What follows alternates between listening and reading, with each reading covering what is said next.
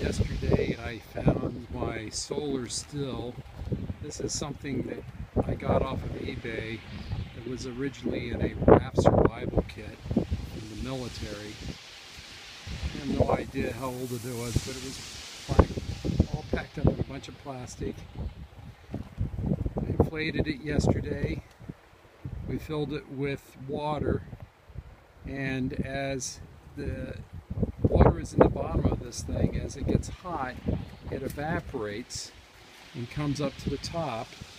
And then if you take a look here, you can probably see there's condensation on the side of the plastic and it dribbles down into here and around on this side there's a tube and as the water goes down it fills up this bag with water cold water. We could put seawater in this.